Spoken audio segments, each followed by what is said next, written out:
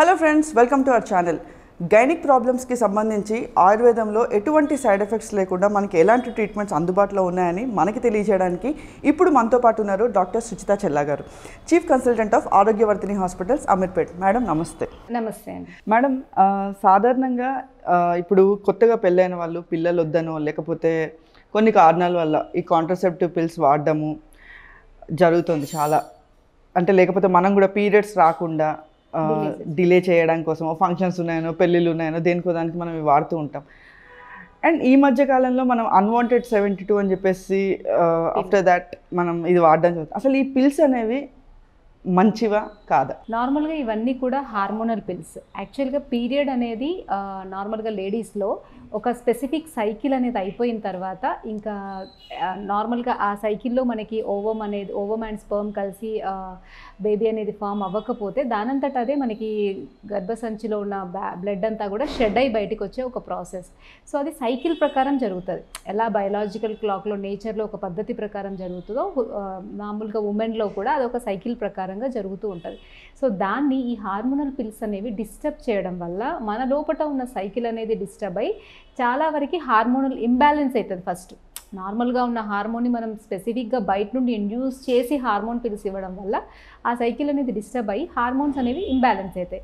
ఎప్పుడైతే hormone imbalance అవుతాయో న్యాచురల్గా కూడా మళ్ళీ ఇరెగ్యులర్ సైకిల్స్ రావడం లేకపోతే సిస్టులు ఫామ్ అవ్వడం ఫైబ్రాయిడ్ యూట్రస్ ఫామ్ అవ్వడం తర్వాత తర్వాత క్యాన్సర్స్ రావడం ఇవన్నీ కూడా సబ్సీక్వెంట్గా జరుగుతూ ఉంటాయి. కాబట్టి నార్మల్గా అయితే అకార్డింగ్ టు మనం ayurvedic system natural system of mechanism ప్రకారం అయితే అసలు పీరియడ్స్ని మనం ఎప్పుడూ కూడా పోస్ట్పోన్ చేయకూడదు. అది సింపుల్గా ఖచ్చితంగా చెప్పాల్సిన పాయింట్ ఫంక్షన్ రాని పెళ్ళి రాని ఏదన్నా రాని మనల్ని మనకి ఆ పిల్ అనేది పీరియడ్ పోస్ట్పోన్ కోసం కనుక్కోలేదు.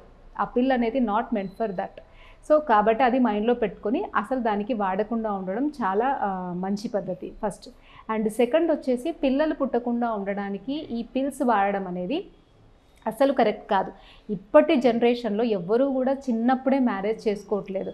Mostly twenty three twenty two తర్వాతనే పెళ్ళి చేసుకుంటున్నారు అందరూ. So twenty two twenty three is the pregnancy time అంటే న్యాచురల్ బర్త్ ఇవ్వాల్సిన టైం సో ఆ టైంలో ప్లాన్ చేసుకోవడమే మంచిది. అండ్ ఇలా మనం హార్మోన్ పిల్స్ వేసుకొని సైకిల్ని నార్మల్గా ఏమంటారు అట్లా పిల్లలు పుట్టకుండా. చేసుకోవడం అనేది ఆ సైకిల్ని హార్మోన్స్ని ఇంబ్యాలెన్స్ చేస్తుంది. తర్వాత తర్వాత డెఫినెట్గా మనకి ప్రాబ్లం అనేది వస్తుంది. ఓకే. సో ఈ పిల్స్ కంటిన్యూస్గా వాడడం వల్ల తర్వాత కన్జ్యూమ్ అయ్యే ఛాన్సెస్ తక్కువ ఉంటాయంటారా ఈ పిల్స్ అదే చెప్తున్నాను. ఈ పిల్స్ మనం వాడడం వల్ల ఎక్కువ సిస్టల్ ఫామ్ అవ్వడము అండ్ ఇలాంటివన్నీ ఫా ఫైబ్రాయిడ్ యూట్రస్ ఫామ్ అవ్వడం పాలిప్స్ ఫామ్ అవ్వడం లేకపోతే సైకిలే రెగ్యులర్గా రావడము ఇలాంటివి జరుగుతాయి కాబట్టి తర్వాత పిల్లలు పుట్టడంలో మనకి చాలా ప్రాబ్లం వస్తుంది. ఇప్పుడు మంచి లీడింగ్ గైనకాలజిస్ట్లను మీరు ఎవరిని అడిగినా కూడా ఎవరు కూడా ఈ పిల్స్ వేసుకోమని రికమెండ్ చేయరు ఎందుకంటే pregnancy age is normally twenty to thirty is the ideal age. So ఆ టైంలోనే ఇప్పుడు చాలామంది మ్యారేజెస్ చేసుకుంటున్నారు కాబట్టి go for that and any ఇట్లాంటి కాంట్రాసెప్షన్స్ ఇవన్నీ కూడా యూస్ చేయకపోవడమే చాలా వరకు మంచిది. ఓకే.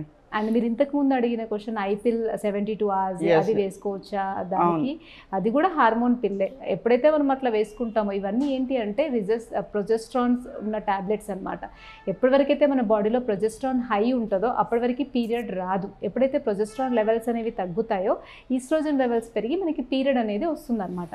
సో మనం నార్మల్గానే ఈ టాబ్లెట్స్ వేయడం వల్ల ఈ హార్మోన్స్లో ఉండే అది దాన్ని ఇంబ్యాలెన్స్ చేసి పీరియడ్ రాకుండా రాపుతుంది అనమాట ప్రెగ్నెన్సీ రాకుండా. సో ఇలాంటివి ఎప్పుడూ కూడా సేఫ్ కాదు.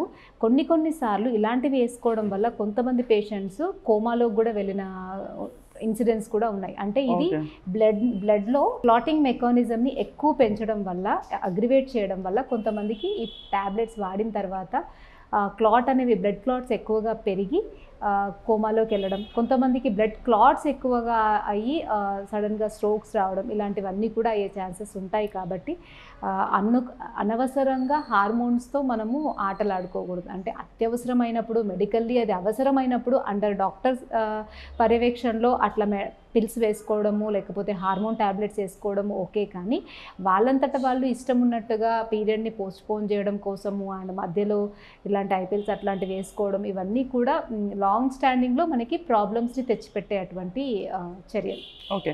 అయితే మేడం ఇప్పుడు జనరల్గా పీరియడ్స్ ఇరెగ్యులర్ ఉన్న వాళ్ళకి గైనకాలజిస్ట్లే మనకి హార్మోన్స్ పిల్స్ అనేవి రాస్తారు కదా. మరి అలాంటి సందర్భాల్లో మనకి యూట్రస్ అనేది ఎఫెక్ట్ పడదంటారా? నార్మల్గా అంటే గైనకాలజిస్టులు రాస్తారు. అది అలోపతి సిస్టమ్ ఆఫ్ మెకానిజం ప్రకారము. బట్ ఆయుర్వేదిక్లో మేమైతే ఎందుకు పీరియడ్ అనేది రెగ్యులర్ అవుతుంది అన్నదానికి మన రీజన్స్ మీకు చెప్పాను కదా. అంటే లైఫ్ స్టైల్లో వచ్చిన డిస్టర్బెన్సెస్ అకార్డింగ్ టు ఆయుర్వేదిక్ చూస్తే అంటే ఇది టోటల్లీ మీకు ఇప్పుడు మళ్ళీ అపోజిట్ సెక్షన్ అవుతుంది. ఆయుర్వేదిక్ చూస్తే వాతం పిత్తం కఫం అనేవి మన బాడీలో త్రీ ఉంటాయన్నమాట.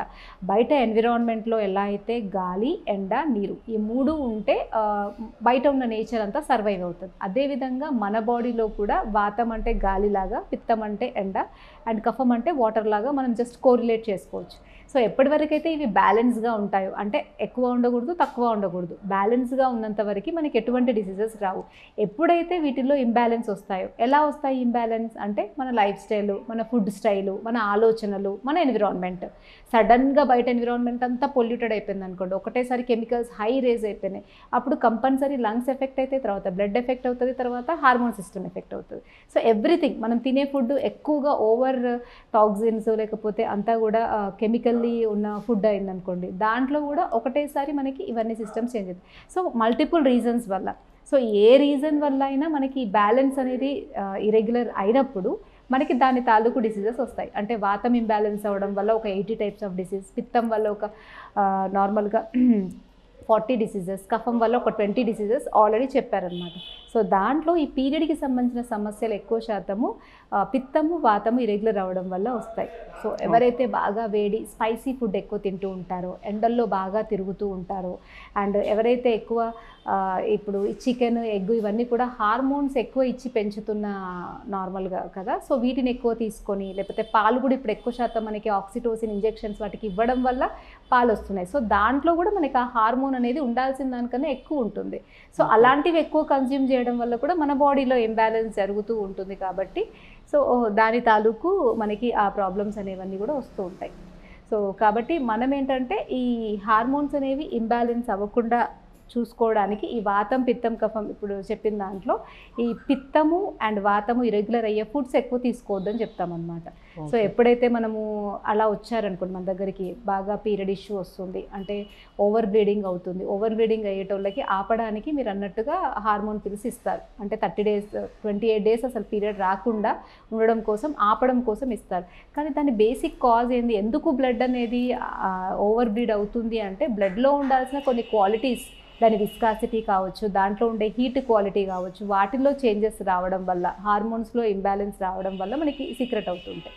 సో వాటిలో వచ్చే ఇంబ్యాలెన్స్ని మనం ఇంతకుముందు చెప్పినట్టుగా పిత్తం వాతం యొక్క ఇరెగ్యులారిటీ అనుకొని వాళ్ళకి మనం చలువ చేసేవి ఎక్కువ చెప్తాం.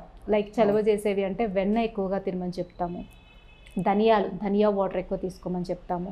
ఇంకా అశోక పుష్యానిక చూర్ణం ఆయుర్వేదిక్లో చాలా మెడిసిన్స్ దాని మీద స్పెసిఫిక్గా బాడీని కూల్ చేసి రక్తంలో వచ్చిన ఆ ఇరెగ్యులారిటీని మళ్ళీ బ్యాలెన్స్ చేసి పిత్తాన్ని వాతాన్ని బ్యాలెన్స్ చేసి పీరియడ్ని రెగ్యులరైజ్ చేయడానికి చూస్తూ ఉన్నట్టు. అంటే టెంపరీగా మనం వస్తుంది ఆపాలి టెంపరీ బ్లాక్ కాకుండా పర్మనెంట్గా ఆ కాజ్ ఏంటి అనేది మనం వాళ్ళ కౌన్సిలింగ్లో వాళ్ళని కూర్చోబెట్టి వాళ్ళ హెల్త్ బాగా స్ట్రెస్లో ఉన్నారా? రూట్ నుంచి ఆ రూట్ నుండి. స్ట్రెస్ వల్ల వాళ్ళకి ఈ బ్లడ్లో ఇంబ్యాలెన్స్ వచ్చిందా? లేదా వాళ్ళ ఇరెగ్యులర్ ఫుడ్ హ్యాబిట్స్ వల్ల వచ్చిందా? లేదా వాళ్ళు ఏమైనా కెమికల్స్కి ఎక్స్పోజ్ అవుతున్నారా? అవన్నీ వాళ్ళ కాజ్ తెలుసుకొని ఆ దేని వల్ల ఓవర్ బ్లీడింగ్ అవుతుంది దానికి ఆయుర్వేదిక్లో ఏం చెప్పారు అన్నది మనం ట్రీట్మెంట్ ఇస్తాం. అంతే తప్ప టెంపరీ బ్లాక్స్ అనేవి ఎక్కువ రోజులు వద్దు. ఇప్పుడు మీకు ఇచ్చారు ఒక గైనకాలజిస్ట్ ఒక one month it is okay safe కానీ అది లాంగ్ టర్మ్లో మనకి ఎప్పటికీ కూడా ప్రాబ్లం కాబట్టి మనకి లాంగ్ టర్మ్లో ఎప్పుడు కూడా మనకి రూట్ కాజ్ ఏంటి దానికి మనం ఎటువంటి చేంజెస్ చేసుకోవాలి మన లైఫ్ స్టైల్ కావచ్చు ఫుడ్ స్టైల్లో కావచ్చు అని చేసుకొని మనం దానికి సొల్యూషన్ పెట్టుకుంటే అది సబ్సీక్వెంట్ డిసీజ్గా మారదు. లేకపోతే ఇప్పటి ఓవర్ బ్లీడింగ్ తర్వాత క్యాన్సర్కి దారితీస్తుంది okay okay. Fine. Thank you ma'am.